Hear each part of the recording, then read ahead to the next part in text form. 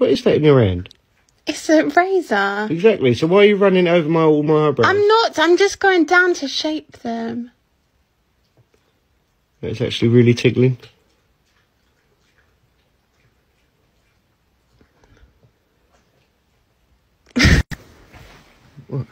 Take your glasses off so you can see. What did you do? Shape them. Oh, right. Do you like that- them? Ain't gonna be like that in the morning, though, is it?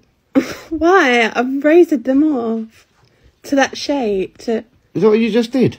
Do you like it or not? No, Why? they're too thin. No, they're not, babe. They're not. Not at all, babe.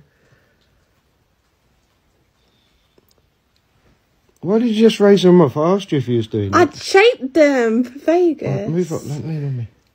Take- You done it yet? No, I need Jade to do it. Fucking what Do you not like them then? No, you ain't got no choice now, ever. Hey,